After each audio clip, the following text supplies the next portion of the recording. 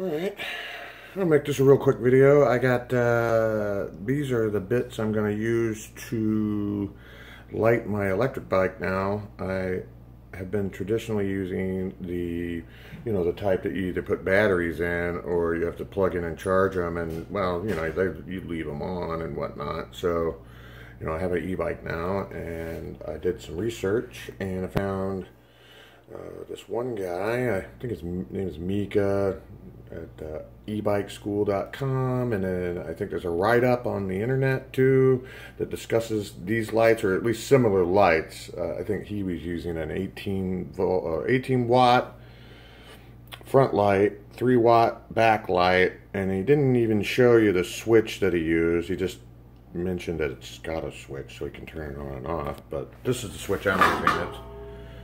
It's, uh, sorry, I kicked my dog bowl down there on the floor. Uh, that's the switch I picked. You get them from China. This one was like six bucks. Took a couple weeks to get, free delivery or whatever. And um, you know, it's just inexpensive. You know, light button. Even has a light thing on it. It's nice. It's gonna work out pretty good, I think. And then um, uh, that was three bucks, and that was eight bucks.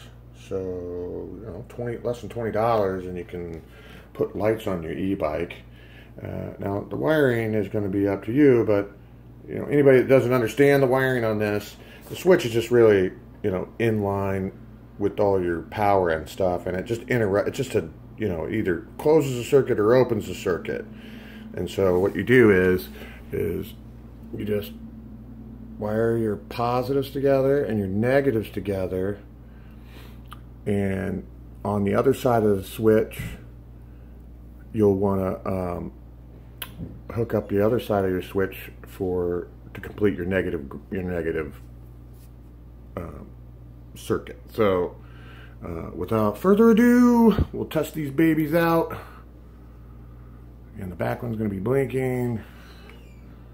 Oh, that's pretty bright. And uh, it's got they got built-in step downs. I'm just running 30 30 volts to these, but yeah, it's crazy blinking. That's going to work awesome on the back of the e-bike and then off, on, off. Works great. Now I have to do is mount it all on the bike, which I will do a follow-up video showing it all mounted up on the bike. All right, later.